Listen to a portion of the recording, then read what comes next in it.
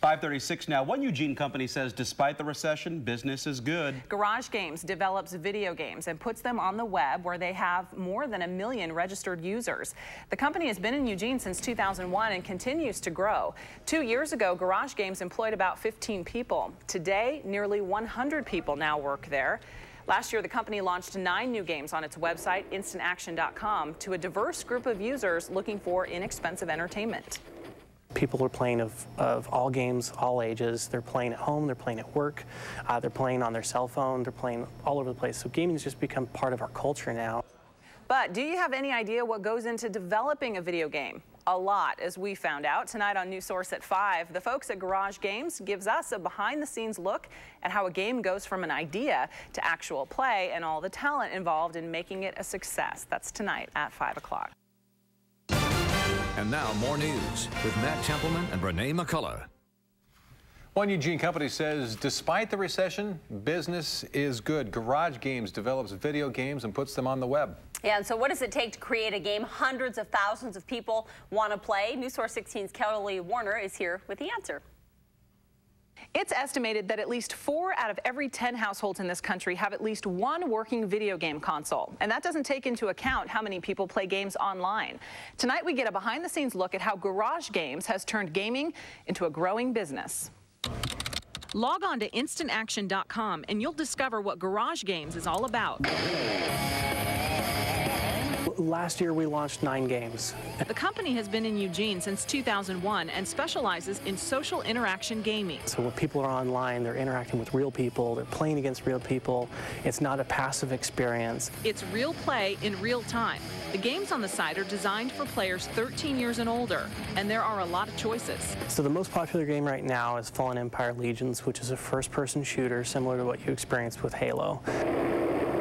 There's Ace of Aces, which is a World War I flight simulator dogfight game. We also have Galcon, which is a real-time strategy game like Risk. That's just to name a few. But to understand how these games are made, we need to start at the beginning. Each game starts with an idea and grows from there, from initial sketches to detailed characters. Here we have the main character from our game Rocketball. Christopher Flanagan is a 3D artist and animator. He says it can take about a month just to develop a character's movements. Pretty much any character is going to have to run around, so you're going to be doing a run forward, a run backwards, a run to the right, a run to the left, usually a jump, maybe a fall down and die. The more complex the game, the more animations are needed, sometimes several hundred. Once a game has a working prototype, it's placed on the company's website where it continues to be developed. That's where the company can get feedback that really counts from the people who play the games. And so this allows us to kind of determine, well, what's fun now and continue to build on that and make it even more fun. Um, and if it's not fun, kill it and kill it early as opposed to investing millions of dollars. Watch your fire, don't shoot your teammates. The company also tests the games to make sure that they're compatible with many different types of computers. Oh, I got killed. Oh. No. We joke about how little time we actually get to play games for fun because we spend all day, you know, trying to create games. And creating games is actually very hard work.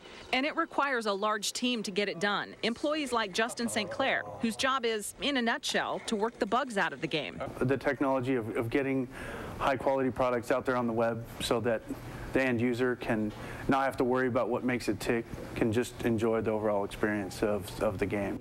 And Ben Vesco. If you're going to want your character to have things like a heavy suit of armor, then you'll need Ben's help. He's the link between the game and your computer's browser. Well, somehow your browser has to tell the game to put you in that gigantic heavy suit, uh, and I help that happen.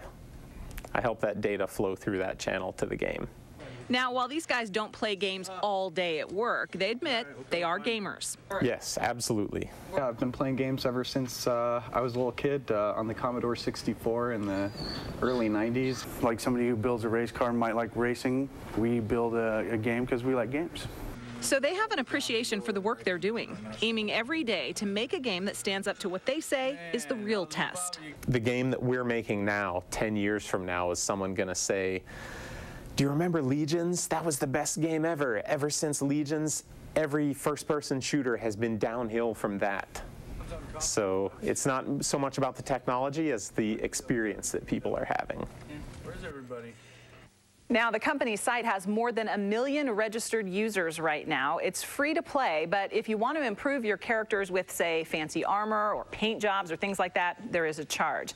Now, if you want to check it out, we've put a link on our website at kmtr.com. Just click on news links. Back to you. Very interesting. Thank you very much, Kelly. Garage Games does monitor its website and chat forums for inappropriate behavior by its users. It says it can and will kick somebody off the site if there appears to be a